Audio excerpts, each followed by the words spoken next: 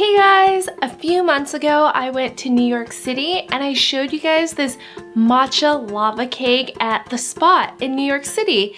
It's in Koreatown and I just thought, oh my gosh, I have to make this and show you guys. So today that's exactly what I'm doing. We're making a matcha lava cake and as a bonus, I decided to make a no churn matcha ice cream too. Without further ado, let's get started. Okay, first, I'm starting by heating up a pot of water to make my bain marie. It's basically a pot which holds hot water so that I can slowly melt my white chocolate, which I'm adding in about a cup right now and then a tablespoon of neutral oil, and a tablespoon of matcha powder. I'll give it a stir and continue stirring until it melts. The soft heat from the bain marie will help the white chocolate melt beautifully, and it won't cause the white chocolate to seize either. Beautiful. Now I'll take it off heat and fill my ice cube molds.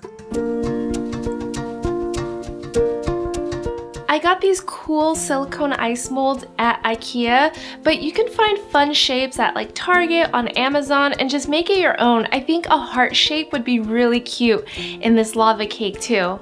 Even though it melts out, it's okay. It's the fun of making it, right?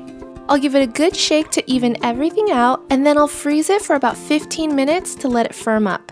In the meantime, I'm going to start another bain marie, this time melting a stick of butter, let it melt most of the way through, and then I'm gonna add in 4 ounces of bittersweet chocolate.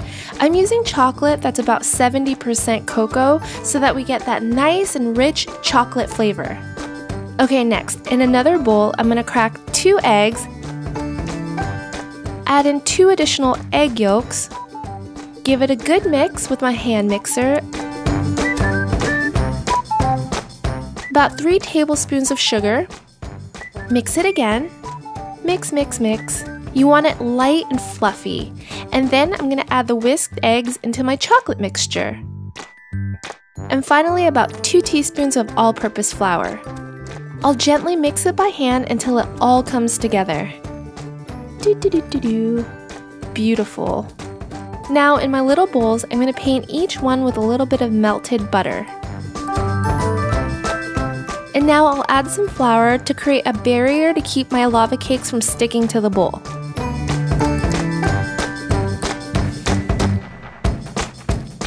I'm using these cute mini latte bowls from Anthropologie that's a little different than what you typically use when making lava cake. Usually people use ramekins with a square bottom, but since these are a little round, just make sure you butter and flour it well so that it pops right out. The first few times I tried it, it got stuck and it broke my cake, so that's my only advice for you. Sorry, I meant a flat bottom. Anyways, I'll add in a scoop of the chocolate batter into each of my latte bowls, and then I'll pop out the white chocolate matcha squares.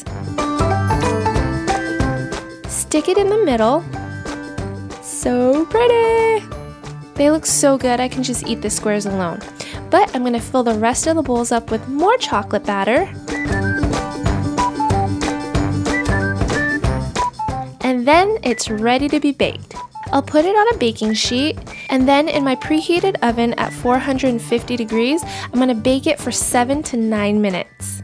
For the matcha ice cream, I actually made this on Sweet and Live on Saturday, but it was so good I thought I needed to show you guys too. It's super easy and you only need four ingredients.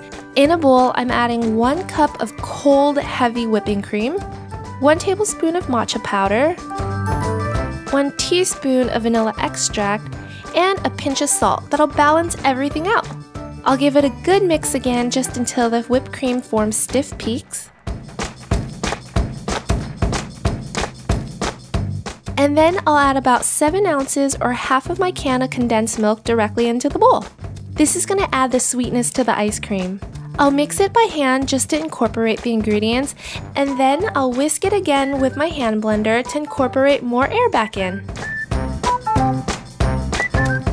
Finally, I'll scrape down the sides and take a piece of plastic wrap to cover it, making sure it touches the surface of the ice cream.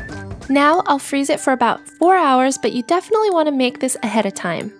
The thing that I love about these no churn ice cream is that I can make it any flavor that I want.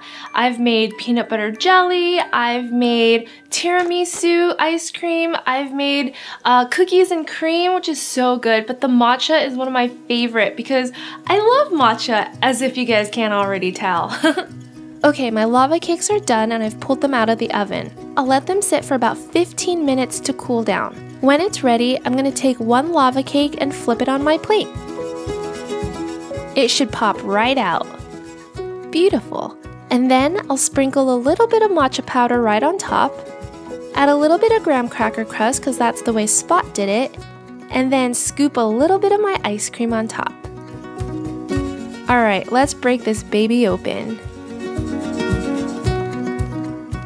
Mmm, look at that matcha ooze out with the chocolate. Oh, so good. And we're going in for a bite. I have a little bit of the matcha ice cream, some cake, and the graham cracker crust that'll give it a little bit of texture.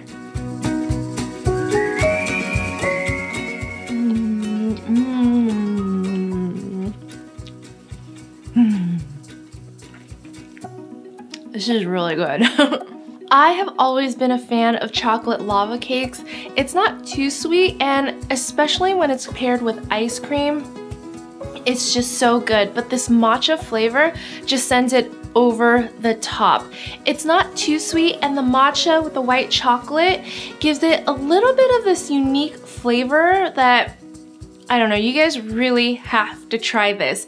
And if you do make it, be sure to tag me on Instagram at Honeysuckle Catering so I can see and like it. And you guys, I also started a new channel, a daily vlog on Wild Honeysuckle where I vlog every day about things like natural beauty, my shopping haul, my grocery hauls. I have found out I love doing haul videos. If you guys are into that stuff, go subscribe to my new channel and I will see you guys next week. Bye! And don't forget to subscribe!